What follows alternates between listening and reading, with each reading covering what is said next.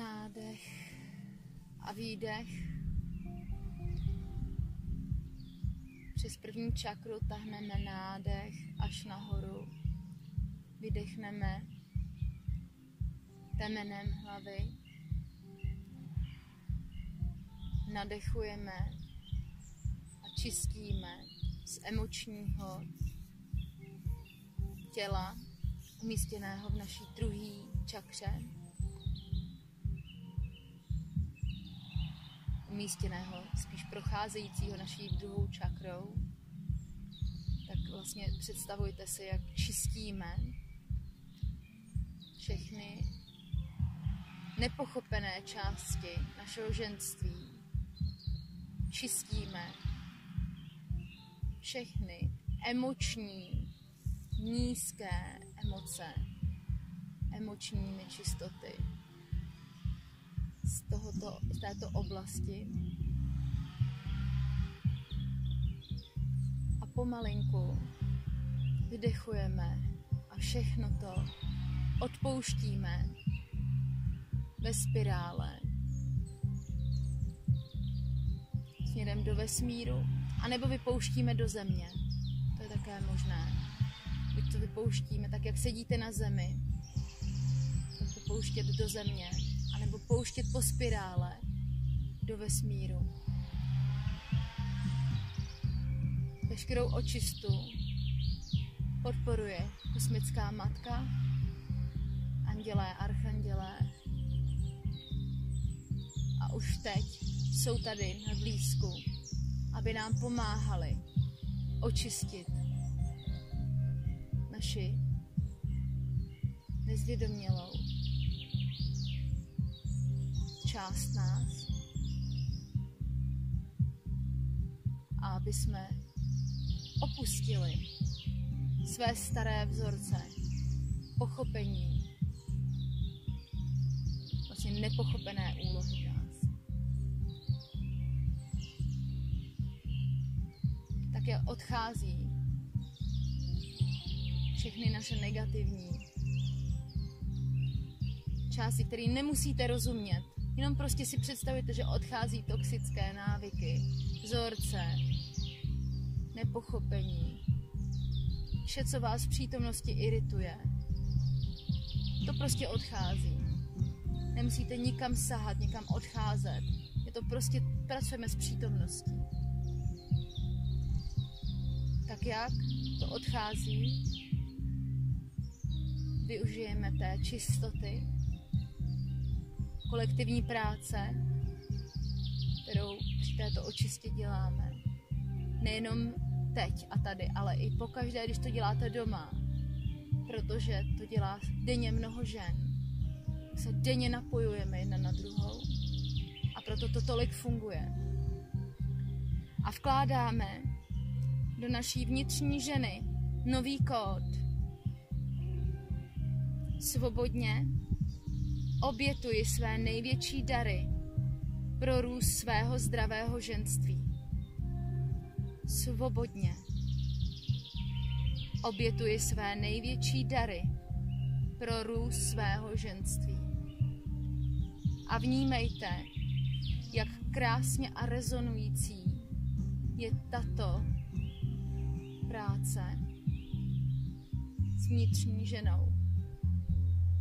Zpátky se zakořenuje vaše ženství do planety Země.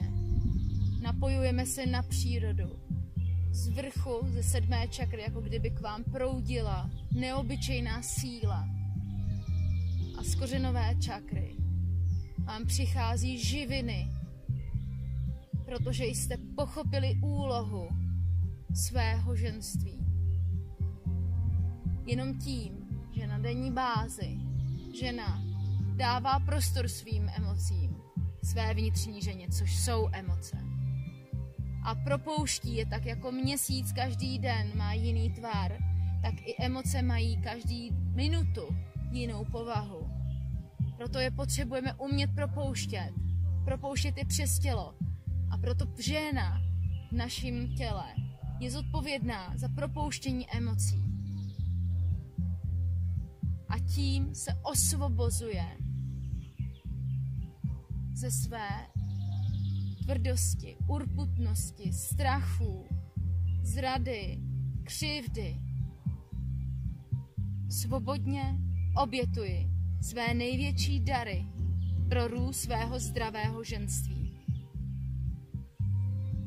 Přidáme k tomu ještě další podporu její vnitřní kněžky. Protože přes naši vnitřní kněžku my potřebujeme uzdravit naší vnitřní sexualitu. Přichází nová afirmace v tomto tématu do druhé čakry, která je také čakra tvoření, čakra sexuality, zdravé sexuality. Umožňuji si uvolnit všechna přesvědčení o tom, co je sexualita ženy. Umožňuji si uvolnit všechna přesvědčení o tom, co je sexualita ženy. Otevírám se novému vnímání sexuality skrze moji vnitřní posvátnou kněžku, která je božskou moudrostí původního světelného DNA.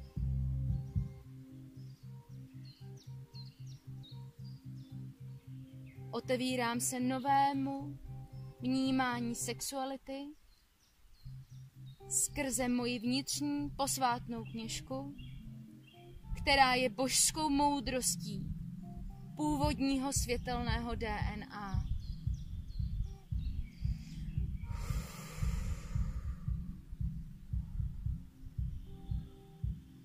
Propojuji se plně se svou posvátnou kněžkou, která prostupuje propojení s mužem v mém životě. Propojuji se plně se svou posvátnou kněžkou, která prostupuje propojení s mužem v mém životě. Zdravá žena totiž i ve své sexualitě umí pracovat a vést ženským způsobem, ženskou sexualitou ke zdravému vnímání svého muže. Proto tahle poslední afirmace. Propojuji se plně se svou posvátnou knižkou, která prostupuje propojení s mužem v mém životě. Probíhá to proto, že tímto vyrovnáváním v sobě my uzdravujeme i vnitřního muže v sobě. A přes naši posvátnou kněžku my jsme schopné vést sexualitu zdravou jenom tím, jak se pohybujeme, jenom tím, jak se bavíme, jak se o sebe staráme, jak se staráme o druhé, ale i tou klasickou sexualitou, která v běžném milování je úplně jiná, než jsme doposud prožívali. Je něžná, citová, procítěná, je plná lásky, něhy,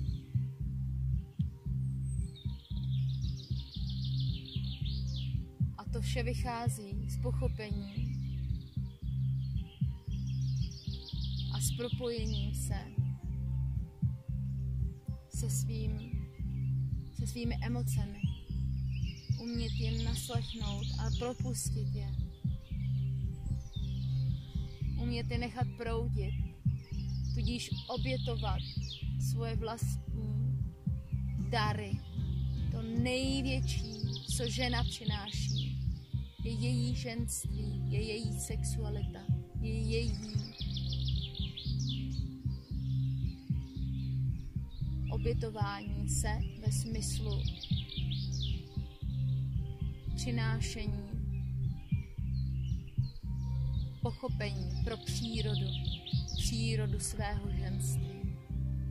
Být emocionální, být zranitelná, být bezmocná, je opravdu v pořádku.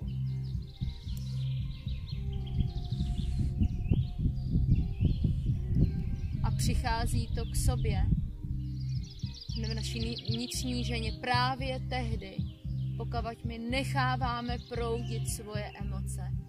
Dáváme jim průchod. Umíme se naladit na přírodu, na kořeny zemi, naše kořeny zemi, které sajou vodu, živiny a perfektně umí ustát všechny typy ročních období. Vítr, zimu, mráz, sucho. To je naše svobodná oběť. Proudit emoce, aby jsme mohli být tou přírodou. Aby jsme mohli být tou pevnou, zakořeněnou, přirozeně sexuální, tvůrčí tedy, ženou. Ženou, která nemusí mluvit, ale svým chováním už nemanipuluje. Svým chováním opravdu přináší radost, lásku, něhu, zdraví, funkčnost. fungující vztah, plný pochopení. Nemluví, jen je.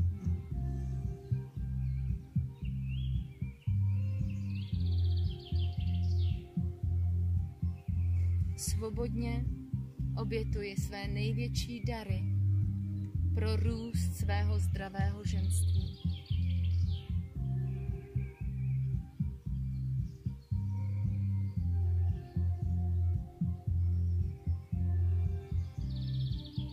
tady v přírodě, v kontaktu s přírodou.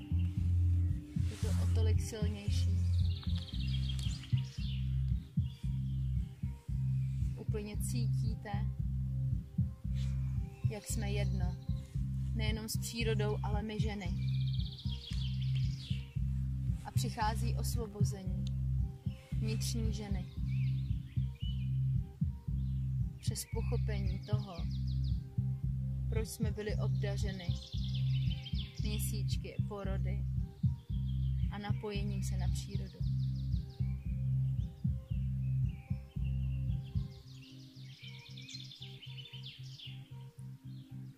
Pomalinku se začneme přesouvat ve svém vnitřním prostoru do našeho vnitřního muže a začneme pracovat s tématem našeho vnitřního muže, který se díky bezpečí, který cítí z naší vnitřní ženy, může uvolňovat a rozvolňovat do své pravé podstaty. A to je citlivost. Projevování citu.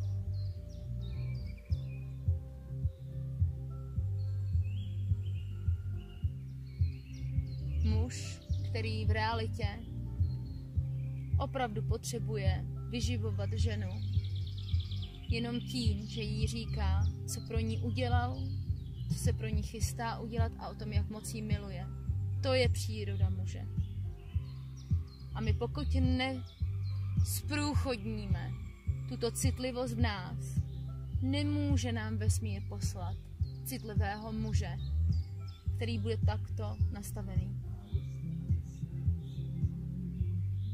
očišťováním našeho emočního těla a zabezpečením naší vnitřní ženy pochopení svého pravého místa, své pravé úlohy, dobrovolné a svobodné, radostné oběti, kterou může přinášet tím, jaká je příroda, právě tím, že projevuje svoje emoce, a dokáže být bezbraná. Uvolňuje důvěru ve svém vnitřním muži. Musíte teď cítit, určitě to cítíte. Nemusíte nic, ale určitě teď cítíte, jak úplně se rozvolňuje váš vnitřní muž do takové pohody, kterou cítí ze své vnitřní ženy. Vidí, že je tam lehko zbytí a může začít projevovat svoji citlivost. Začne se o ní pečovat, dává jí podporu, vnímá její jedinečnost a posíláme do svého vnitřního muže novou afirmaci. Dovoluji si otevřít se ve svém vnitřním muži svému opravdovému citu. Dovoluji si otevřít se ve svém vnitřním muži svému opravdovému citu. Je bezpečné a přirozené být zranitelná.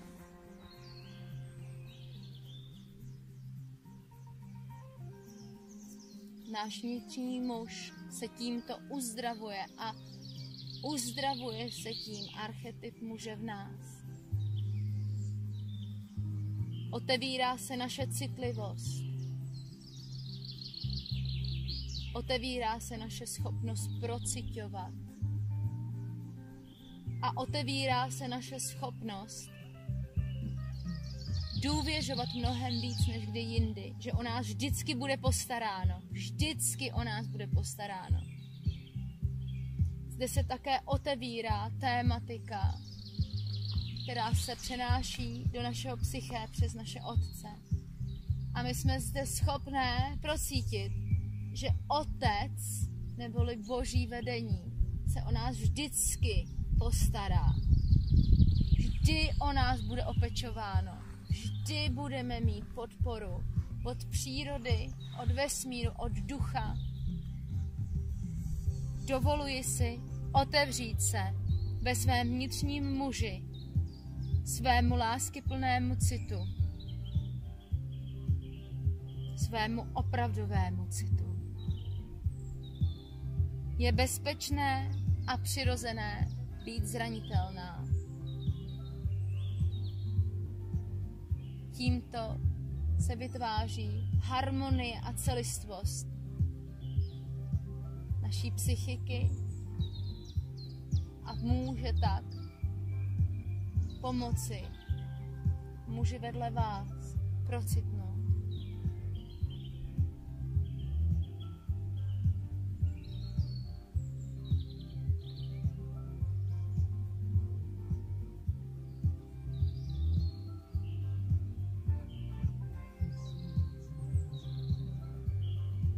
Je bezpečné být ženou.